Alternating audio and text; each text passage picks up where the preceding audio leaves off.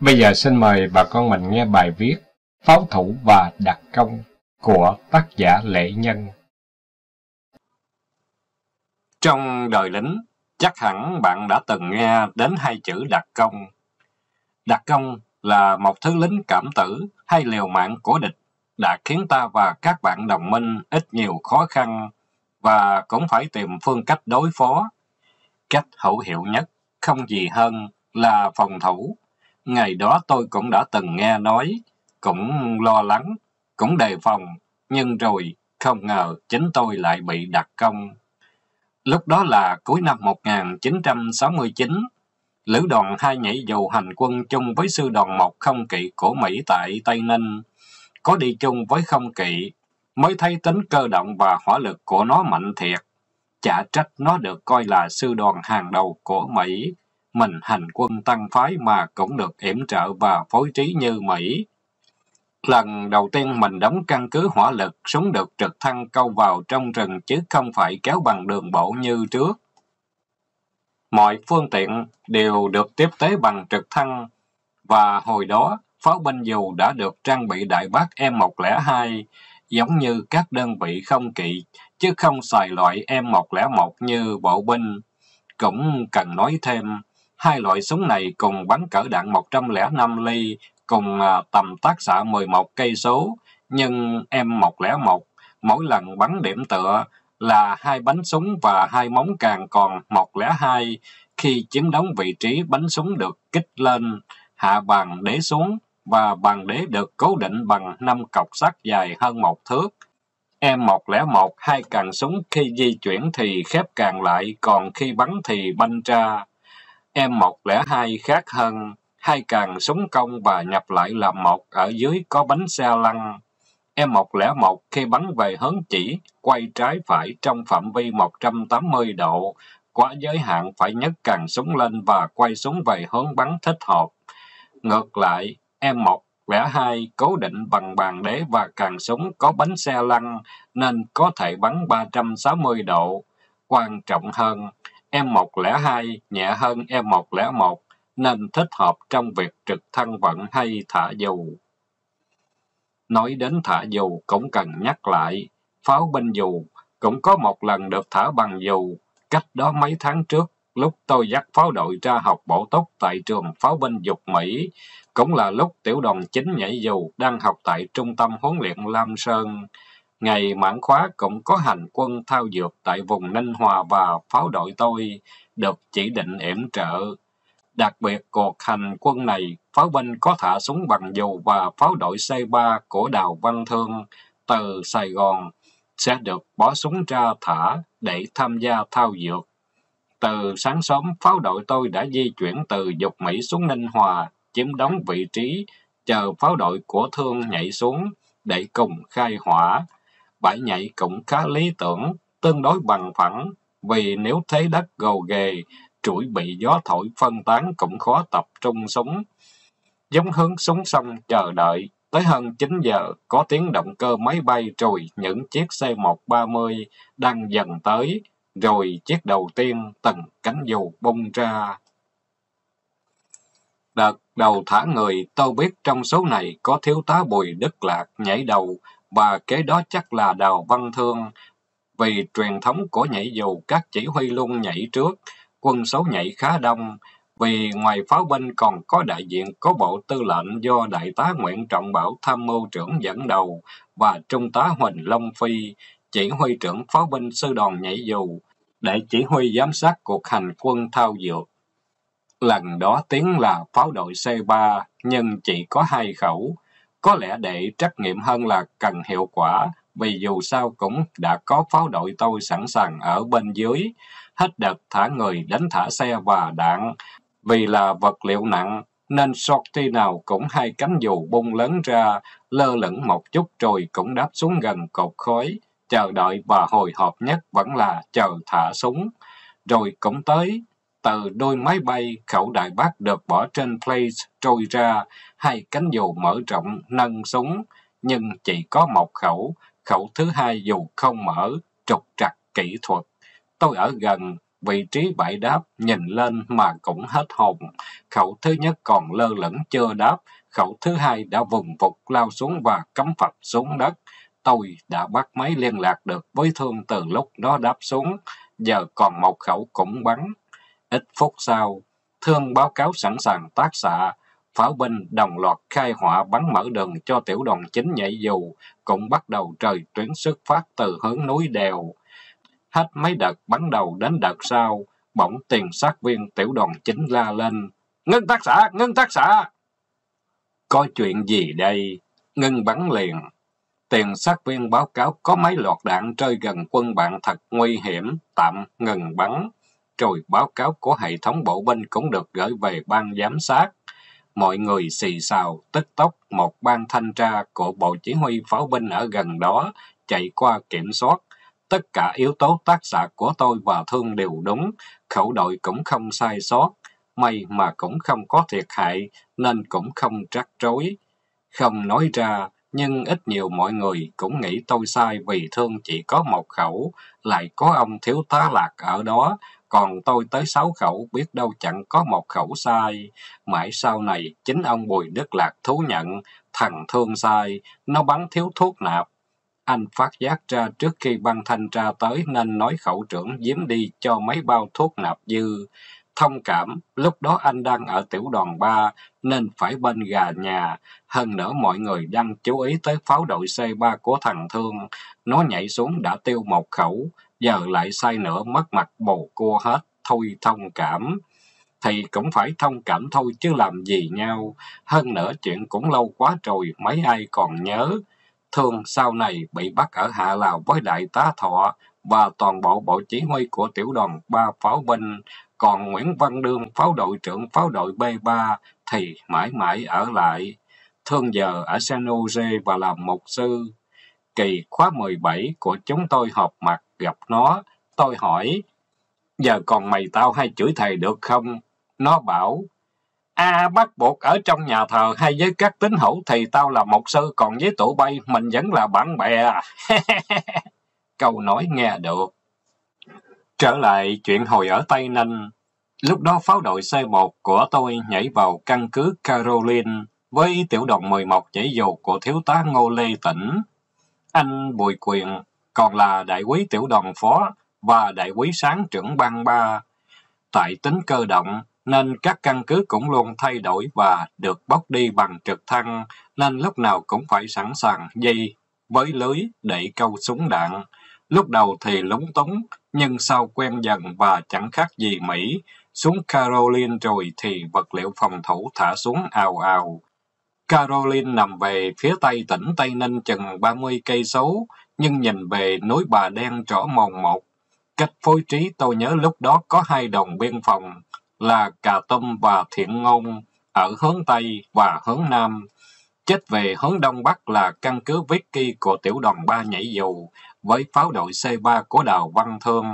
Phía Bắc có căn cứ Diana của tiểu đoàn 5 với pháo đội C3 của Nguyễn Văn Đương.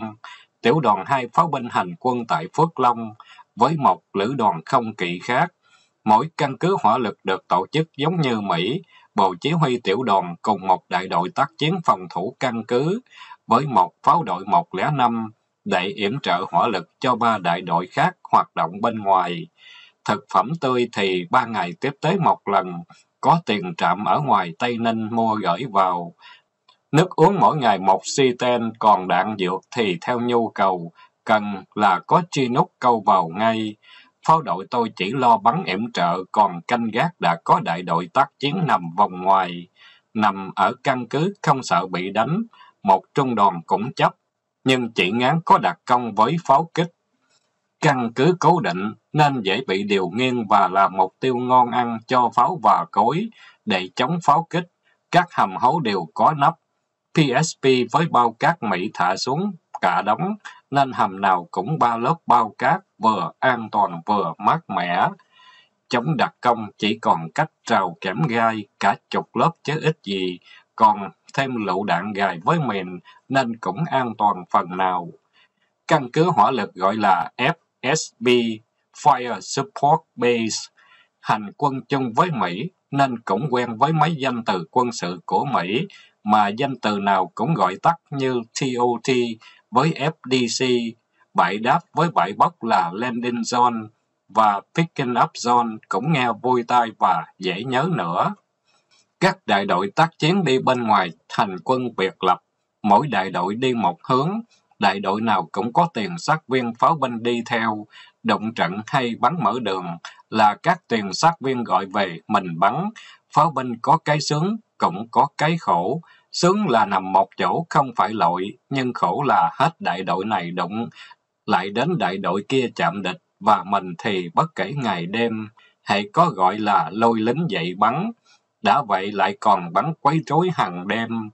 Mỗi đại đội chiều nào cũng xin mấy điểm xung quanh vị trí đóng quân, lại yêu cầu vào toàn những giờ khuya khoắt mới mệt chứ, cũng phải chiều. Tính yếu tố sẵn rồi giao cho khẩu trực, cứ tới giờ là nạp đạn giật cò cho mấy cha ở ngoài yên tâm, chứ mình biết bắn cái kiểu đó cũng chẳng chết thằng Tây nào. Lâu lâu có tin tình báo địch xuất hiện ở chỗ nào đó, một đại đội được điều động đến bãi bốc gần nhất để trực thăng bốc súng lên đinh zone để đi đến mục tiêu. Mỗi lần như vậy, tôi lại xách máy theo thiếu tá tỉnh lên trực thăng chỉ huy, mà Mỹ nó gọi là CNC. Thiếu tá tỉnh điều động con cái, cố vấn Mỹ phối hợp với trực thăng, còn tôi lo việc điều chỉnh sẵn những tác xạ chung quanh landing zone. Điều chỉnh xong rồi bay vòng vòng chờ tới giờ TOT, còn 15 phút trước giờ đổ quân. Cố vấn Mỹ tra hiệu cho thiếu tá tỉnh và tôi.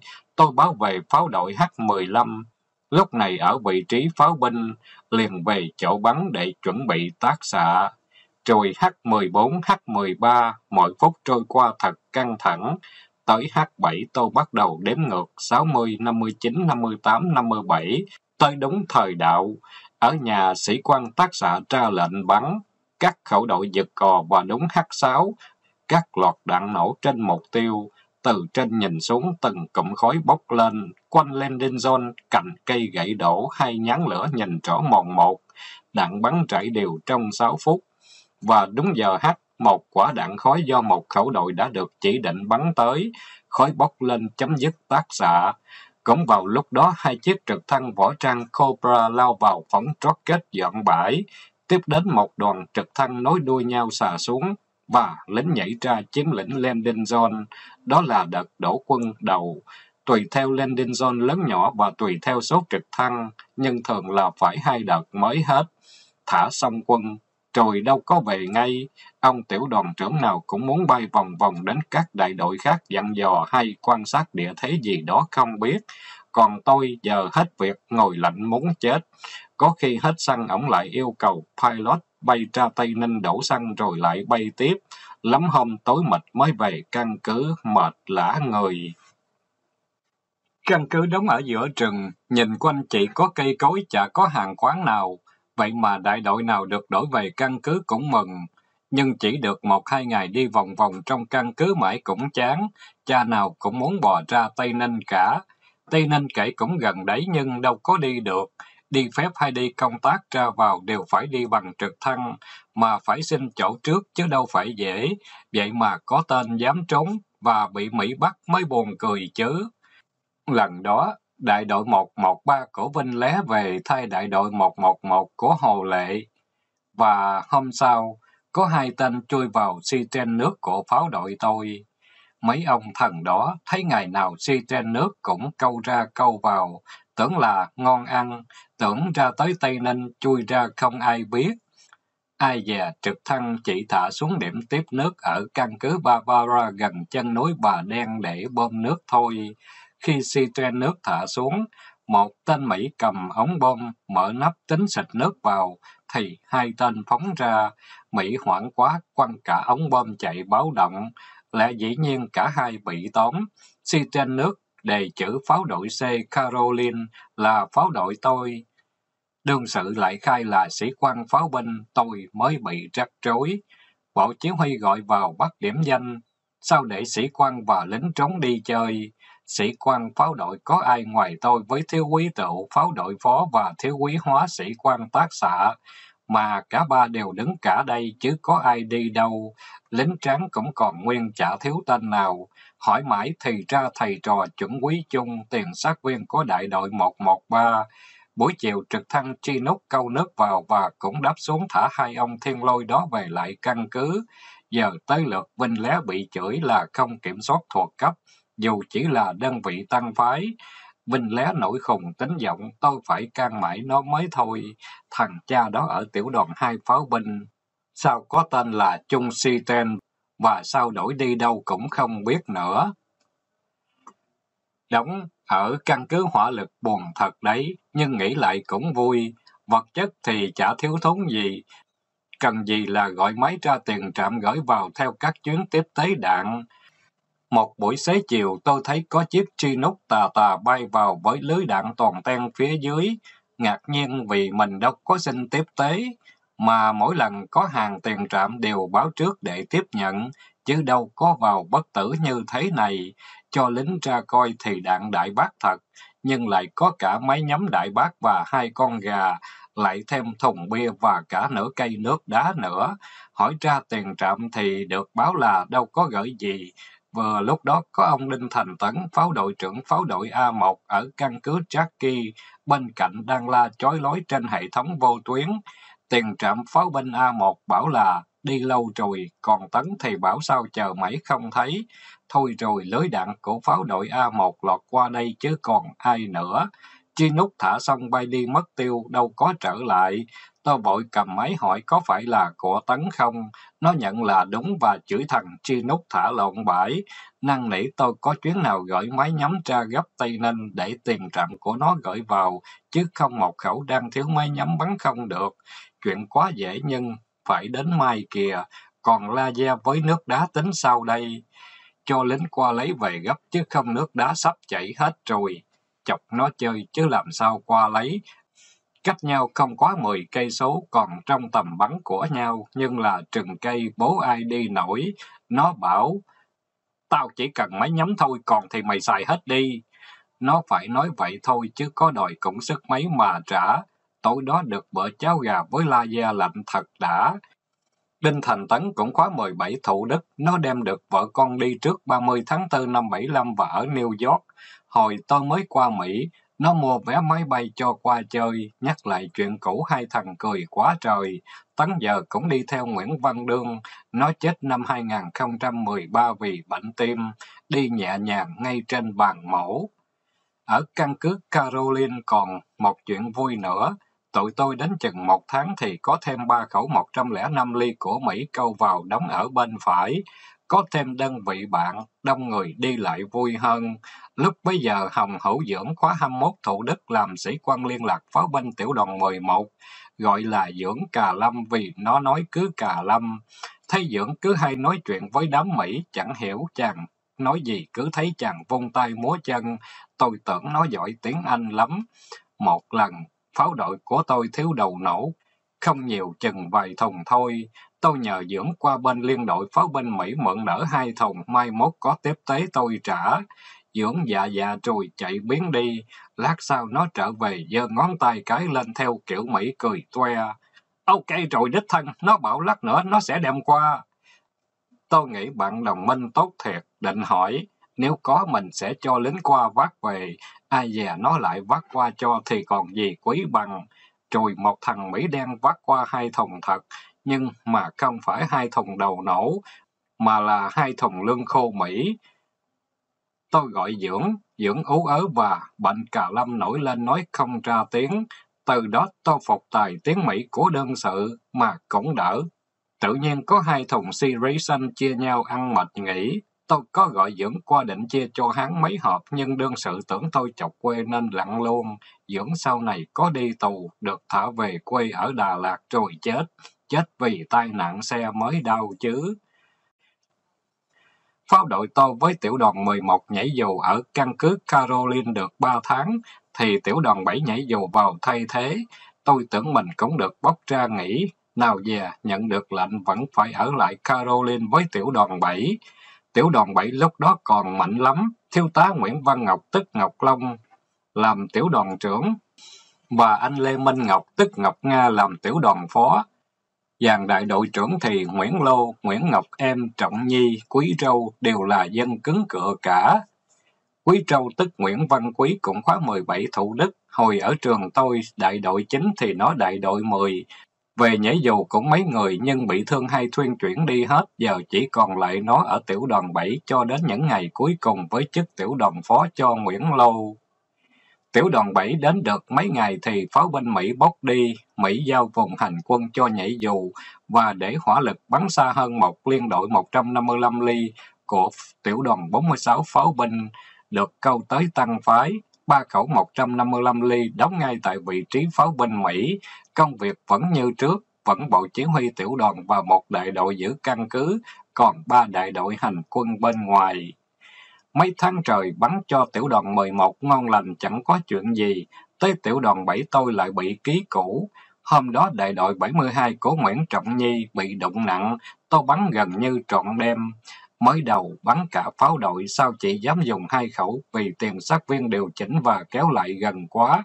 Có điểm bắn gần như thẳng trục với điểm đóng quân, mà con nhà pháo kỵ nhất là bắn qua đầu hay bắn thẳng trục. Vì đạn dài hai ngắn là lãnh đủ, nhưng mà phải bắn, tiền sát viên hét lên. Nó vào sát tôi lắm rồi.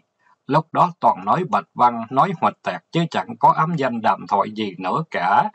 Bên bộ chỉ huy tiểu đoàn 7 cũng gọi qua hối bắn cho lẹ. Nửa đêm về sáng thì nghe Nguyễn Trọng Nhi bị thương nặng, nghĩa là tình hình đại đội 72 gần như nguy ngập.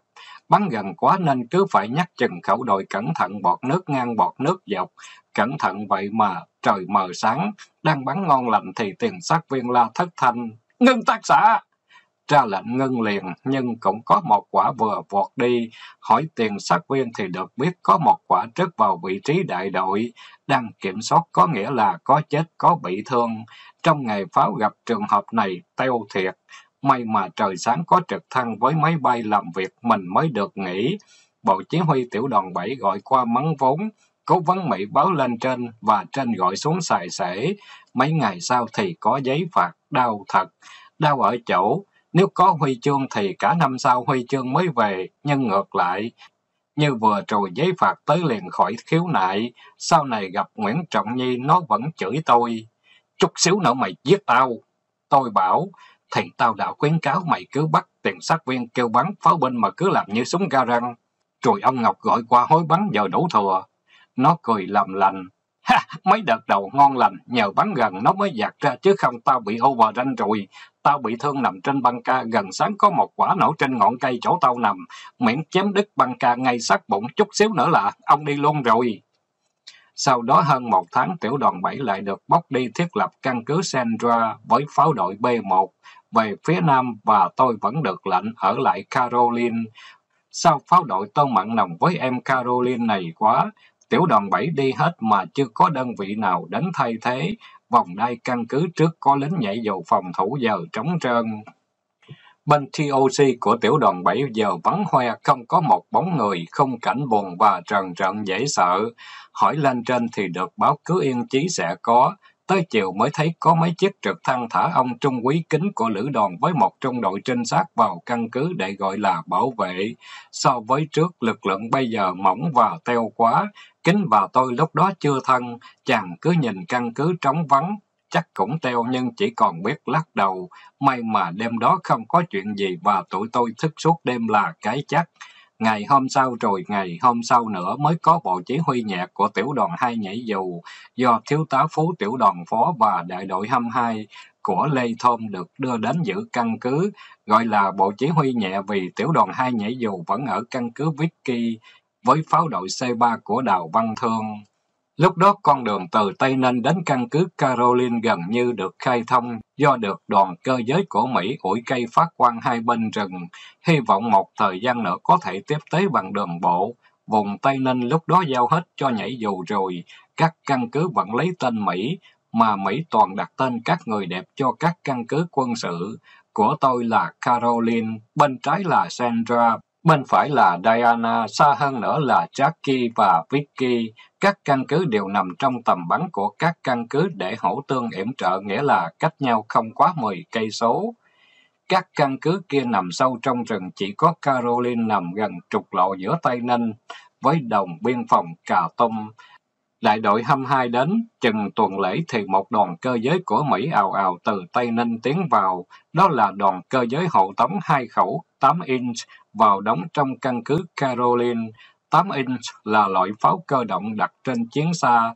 Đại Bắc của mình là loại 105 ly, nhưng 8 inch nếu tính ra mm thì là loại 200 ly. Nghĩa là quả đạn lớn gấp đôi của mình. Lần đầu thấy loại súng lạ ai cũng tò mò súng lại coi, chiếm đóng vị trí xong, 8 inch bắt đầu khai hỏa để yểm trợ cho một đơn vị Mỹ nào đó. Nghe pháo mình nổ đã quen tai, giờ gà cồ nó gáy thật điếc con rấy, đó mới thật là gà cồ, còn mình chỉ là những chú gà tre yếu ớt. Tuy chỉ có hai khẩu nhưng nó có cả một chi đội thiết vận xa e M113 bảo vệ, dường như cũng là cơ hữu của nó hay sao ấy. Căn cứ đang trống vắng giờ có thêm đơn vị bạn nữa thấy nhộn nhịp và ấm hơn mấy ngày trước. Như vậy lúc đó Caroline có ba loại pháo, liên đội 155 ly của tiểu đoàn 46 pháo binh ở bên phải, có liên đội trinh sát bảo vệ. Giữa tôi và 155 ly có thằng 8 inch, che chở hộ với dàn e M113 căng ra phía trước. Đại đội 22 trải điều phần còn lại nhưng khá mỏng. Đêm đó trời tối đen như mực, tiêu lệnh ở căn cứ nào cũng là buổi tối ai ở đâu ở đó không đi lạng quạng. Ở với tiểu đoàn 11 và tiểu đoàn 7 còn được câu nhờ một bóng điện, nhưng tiểu đoàn 2 và bộ chỉ huy nhẹ nên đâu có máy phát điện. Không có thì xài điện bình xe để làm việc nhưng điện nào cũng phải che chắn kỹ để không lọt ánh sáng ra ngoài. Chập tối mấy chiếc E-113 của Mỹ khai hỏa loạn xạ vào bìa rừng. Mới đầu ai cũng giật mình nhưng rồi hiểu là Mỹ nó test fire, Mỹ nó vậy đó. Các căn cứ của Mỹ đều như vậy, lâu lâu nó bất thần báo động rồi khai hỏa đồng loạt khắp căn cứ. Dân nhà giàu mà, đạn thiếu gì, bắn khơi khơi vậy thôi, nhưng nghe đâu có lần sáng ra cũng có mấy em nằm dính chấu ngoài vòng rào. Tới khuya súng lại nổ, tưởng là Mỹ nhiều đạn test fire nữa, nhưng hơi lạ là có tiếng đạn bay cả vào trong rồi có tiếng đạn M79 nổ ầm ầm. Ngoài khẩu đội, tôi bật dậy, chưa kịp hỏi thì có tiếng la chí chóe ở bên ngoài. Dĩ cổng, dĩ cổng!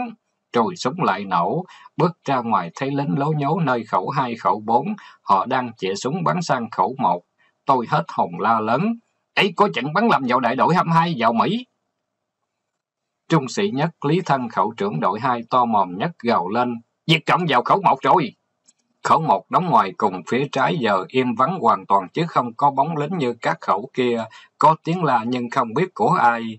Đặt công trong quý ơi! Phía Mỹ chợt vọt lên mấy trái signal tay, nhờ ánh sáng mới thấy cảnh vật rõ hơn bên ngoài. Đặc công, nghe hai tiếng này thấy nhờn nhợn, giờ tới phiên mình, lính ngoài khẩu đội đã áo giáp nón sắt chĩa súng sang khẩu một. Trung quý Huê khẩu trưởng khẩu ba chỉ chỗ vào đóng trẻm gai ngăn cách khẩu một, giọng lạc hẳn đi. Bắn được một thằng ở đây rồi. Lại một tiếng ầm, trung sĩ Lý Thân phóng một quả M79 sang khẩu một. Tôi la lên, coi chừng lính mình. Ai đó cũng la, Khẩu một chạy qua đây hết rồi, còn cạt lại thằng Trọng với thằng Hiển. Trung sĩ nhất trọng khẩu đội trưởng một, còn hạ sĩ nhất Hiển là nhắm viên. Nghe báo đặc công, nghe lộn xộn phía ngoài, thiếu quý tụ đã lùa đám nhân viên truyền tin tạp dịch ra bố trí phía sau. Tôi bảo thiếu quý hóa gọi pháo đội B1 xin bắn chiếu sáng, rồi ngoắt tay kêu một tên đệ tử nữa vào khẩu một, tại vì thấy khẩu một yên lặng quá, tuy cũng sợ nhưng phải làm gan bảo các khẩu ngừng bắn rồi hai thầy trò mở kẽm gai đi vào. Tôi phải nói mở vì từ hồi súng Caroline đến giờ, các khẩu đội của tôi đều quay kẽm gai Constantina xung quanh và mỗi tối đều rào lại. Trước ở với tiểu đoàn 11 và tiểu đoàn 7 cũng thế, tiêu lệnh chung ban đêm cấm di chuyển, có báo động nằm yên một chỗ chạy lộn xộn bắn ráng chịu. May mà các khẩu đội của tôi vẫn giữ nếp cũ và bây giờ tôi đi vào khẩu một cũng phải khó khăn. Vừa vào tới khẩu một thì lại ầm, tôi giật mình, nhưng đó chỉ là tụ cho khẩu năm bắn chiếu sáng để soi sáng vị trí. Đạn chiếu sáng thì khẩu nào cũng có sẵn, vặn thời nổ 5 giây với thuốc nạp một rồi nạp đạn, rồi quay nòng súng thẳng đứng giật cò. Chỉ mấy giây sau đạn nổ, cả căn cứ sáng lòa. Phía bên kia trung sĩ Lý Thân và mấy người lính nữa cũng bước qua, nhờ ánh sáng không cảnh khẩu một thật hải hùng. Có tiếng trung sĩ nhất trọng trên rỉ trong hầm, mùi thuốc súng thuốc nổ khét lẹt, hầm của hạ sĩ hiển sập còn khẩu đại bác bị tét nồng trong thật tan thương. Một người lính hét toán lên, đây, một thằng, kia hai thằng. Hai thằng nằm chết gọn trong hố cá nhân nơi bìa súng, một thằng nằm vắt ngang hàng rào giữa khẩu một và khẩu hai. Ngoài kia đại đội 22 giờ cũng bắn, có chuyện gì nữa mà phía đó đang khai hỏa dữ dội. Hai thằng chết, một thằng mang AK, một thằng mang B40, còn thằng nơi hàng rào đeo K54, và cả ba đều đeo một bịch chất nổ, những gói chất nổ màu trắng như bột dẻo to bằng nắm tay được bọc ni lông có cột dây thông, đặt công thứ thiệt rồi, thằng nào cũng ở trần mặc quần đùi và bôi lọ nghẹ đầy mình. Khẩu đại bác bị bẻ kia chắc do mấy thằng này phá, Tô biểu y tá lo cho trung sĩ trọng và dặn dò lính gỡ hầm, môi hạ sĩ hiển rồi kêu đệ tử mang AK B40 vào đài tác xạ. Việc đầu tiên tôi gọi máy báo cho thiếu tá Phú. Ông hỏi chuyện gì mà bắn dữ vậy? Tôi báo đặt công vào rồi. Thiếu tá Phú không tin, tôi còn nhớ ông nói. Coi kỹ lại đi, nếu như vậy tình hình nặng rồi đó nghe. Thiếu tá Phú chưa biết như vậy, các đơn vị khác cũng chưa biết. Tôi bảo, tôi hạ được ba thằng lấy được AK với B40 rồi. Lúc đó ông mới tin và gọi máy báo động các đơn vị. Tôi cũng gọi ngay lên bộ chỉ huy báo cáo diễn tiến mọi sự việc. Được tin tôi bị đặc công có thiệt hại và cũng có kết quả, nên các pháo đội khác được lệnh yểm trợ cho tôi tối đa. Các tác xạ tiên liệu xung quanh căn cứ được các pháo đội chia nhau bắn liên tục. Lúc đó mình chỉ sợ nó cho đặc công vào quậy trước rồi tấn công, nên bây giờ phải đề phòng dập nó trước cho chắc ăn. Về phía liên đội pháo binh 155 ly, lúc đầu yên lặng giờ thấy trung đội trinh sát bắn dữ dội. Trinh sát bảo vệ phía đó báo trên hệ thống là địch đang bò vào, trinh sát đang hạ từng thằng.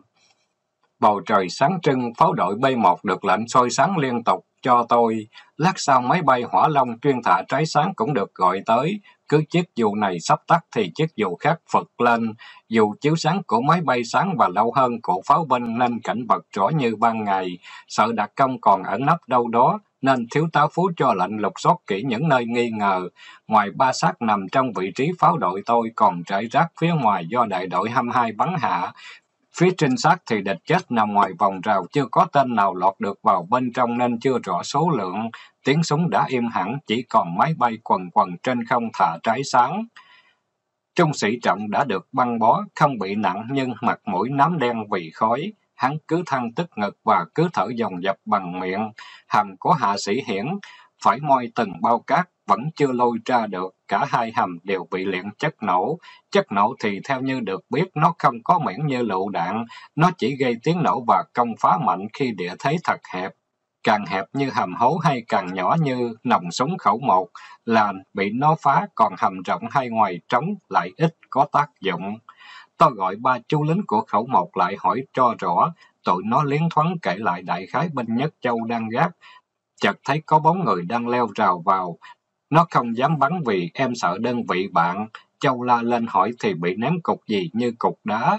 Em tưởng cha nào chọi đá chọc mình, chưa kịp hỏi nữa thì ầm ngay bên cạnh. Quảng Hồng Châu không kịp cầm khẩu em 16 kế bên thì lại ầm ầm làm cho thằng nhỏ quýnh lên vọt chạy sang khẩu hai báo động. Quýnh quá nó quên là phải báo cho xếp trọng nên chỉ biết chạy. Cũng may nếu nó chạy vào hầm trung sĩ trọng biết đâu lại chẳng lãnh chung quả nổ kia. Minh Nhất Sơn và hạ Sĩ Mùi thì... Tụi em mới ngủ thì nghe ầm ầm phía ngoài, nghe tiếng thằng Sơn la tụi em chạy ra thấy hầm trung sĩ trọng nhán lửa rồi bị nổ. Lúc uh, bấy giờ hồng dế lên mây tụi em chạy theo thằng Sơn. Còn một nhân viên nữa là hạ sĩ tài nhưng đang đi phép nên không có mặt trong đêm này. Chỉ xác tên đặc công nằm vắt ngang hàng rào hạ sĩ mùi quả quyết. Chính thằng này phá súng, em ngoái lại thấy súng mình bị nổ rồi nó phóng theo tụi em. Nhưng nhờ sân báo động nên à, bị khẩu hai bắn, còn hai thằng ở hố cá nhân bị trung sĩ lý thân chân một quả M79. Lính pháo binh chứ đâu phải dân tác chiến mà dù có là dân tác chiến bất ngờ quá chạy kịp để báo động cũng là hay rồi. Tôi gọi qua tiểu đoàn 2 xin tản thương, đại đội 22 cũng có một bị thương nặng và trực thăng tản thương đang trên đường vào.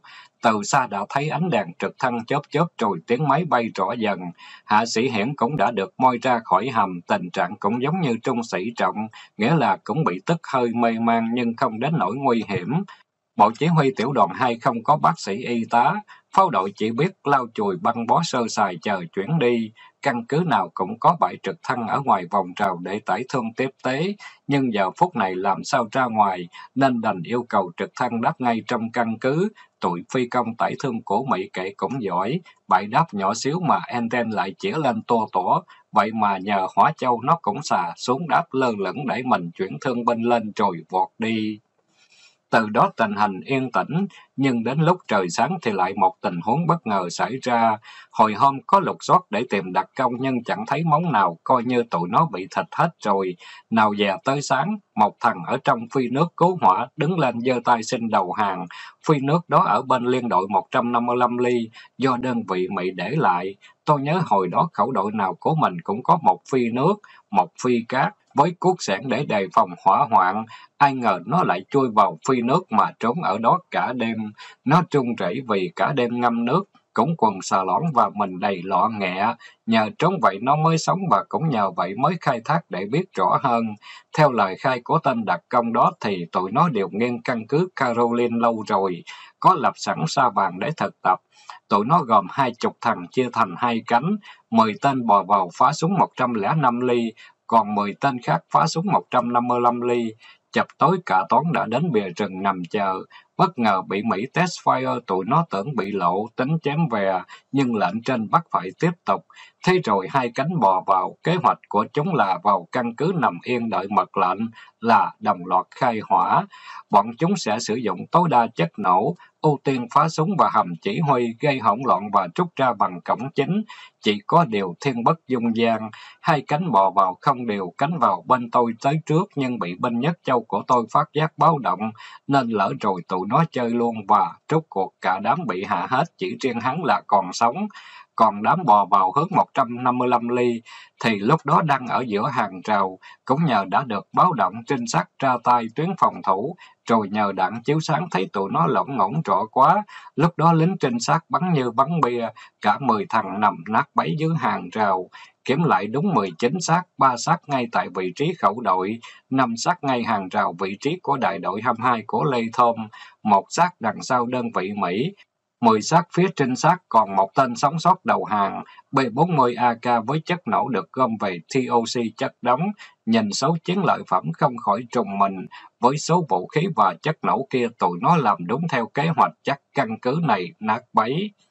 10 giờ sáng thì trực thăng chở các xếp lớn xếp nhỏ đáp xuống, tướng đóng tướng đổ cao trí lúc đó là tư lệnh quân đoàn 3 cũng đến, được bắt tay bắt chân loạn cả lên, mà kể như trận đó thắng lớn vì trước đó ít lâu, một căn cứ của Mỹ bị đặt công bò vào quậy tơi bời rồi trút em không bỏ lại một xác, giờ thì nguyên con bảo sao các sếp không khoái cho được. Sau trận đó tôi được lên đại quý, còn phía Mỹ cũng gắn cho cái Bronze Star Witch V làm kỷ niệm. Lúc được gọi về bộ tư lệnh cùng với hai người nữa được cố vấn trưởng gắn huy chương Mỹ, tôi cứ tưởng họ xã giao tặng cho vui, cũng như mình lâu lâu cũng gắn cho họ vậy. Chỉ có điều huy chương của mình chỉ in trên giấy, còn của Mỹ cũng in trên giấy nhưng chữ in đẹp lại có dấu nổi và bọc trong bìa cứng, mở ra xếp vào được. Đã vậy lại có hộp để đựng huy chương, huy chương cuốn, huy chương thòng và cả khuy để cài cravat trong rất lịch sự. Cho thì lấy rồi cũng quên nhất là sau ngày 30 tháng 4, giấy tờ hình ảnh thất lạc hết và huy chương Mỹ nào ai còn dám giữ. Rồi chương trình HO rộ lên, bây giờ tìm lại giấy tờ hình ảnh xưa chẳng mấy ai còn. Vậy mà huy chương Mỹ lại không mất, Mỹ giữ dùm. Cũng do bạn bè bảo nhau, nhờ bạn đi trước, hỏi Bộ Quốc phòng Mỹ, họ trả lời có, vì có lưu trong computer cũng gửi cho một giấy chứng nhận xài tạm, hứa hẹn khi nào đến Mỹ sẽ gửi cho thứ thiệt, mà thiệt. Khi tới Mỹ tôi gửi thư cho họ và ít lâu sau nhận được toàn bộ huy chương giống hệt cũ, cũng vẫn bản tuyên dương công trạng có dấu nổi bọt trong bìa cứng và hộp đựng huy chương với mấy thứ lặt vặt cài cravat. Ngày đó tưởng họ tặng chơi ai già thứ nhỏ nhặt như thế mà họ vẫn còn lưu giữ. Thôi thì lại cầm chơi coi như kỷ niệm của một thời chiến trận. Bài viết đến đây đã chấm dứt. Xin cảm ơn tác giả. Cảm ơn bà con cô bác đã lắng nghe.